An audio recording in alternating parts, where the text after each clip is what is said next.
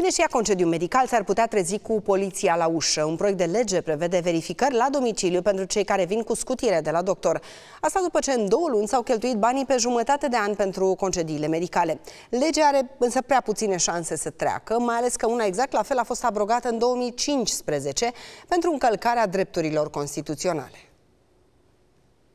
Controlele din pandemie, când poliția verifica dacă bolnavii de COVID respectă carantina, ar putea reveni, de această dată pentru angajații aflați în concediu medical. Parlamentarii propun o lege prin care poliția locală să meargă la domiciliul bolnavilor să vadă dacă nu cumva aceștia sunt la pescuit sau în vacanță la munte. În scenariul propus de aleși, angajatul care s-a îmbolnăvit și va sta acasă trebuie să declare pe proprie răspundere adresa la care poate fi găsit la orice oră. E o aberație. Dacă la unul AT am angajat deja încă 100 de oameni care să se ocupe special de verificările bolnavilor, uh, ar putea.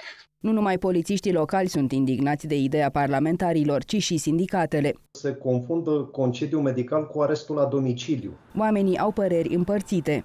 Este o intervenție în drepturile tale personale. Până la urmă, nu trebuie să te verifice nimeni. E o idee bună. Eu n-am, n-am fost niciodată în concediu medical, nu mi-a trebuit, dar am auzit multe situații în care sunt luate pe pile. Motivul proiectului de lege, spune unul dintre inițiatori, e că s-a ajuns la fundul sacului de bani pentru plata concediilor medicale. Pentru anul 2023 au fost aprobate fonduri în sumă de 3,7 miliarde de lei, iar la data de 28 februarie, obligațiile restante la plată erau în valoare de 2,2 miliarde de lei. Ideea nu este nouă. Între 2010 și 2015 a fost în vigoare o lege prin care de controle se ocupa Poliția Națională. S-a considerat că sunt încălcate drepturile constituționale ale persoanei, dreptul la liber circulație, de exemplu. Poliția nu are astfel de atribuții în primul rând și în al doilea rând ă, dacă tot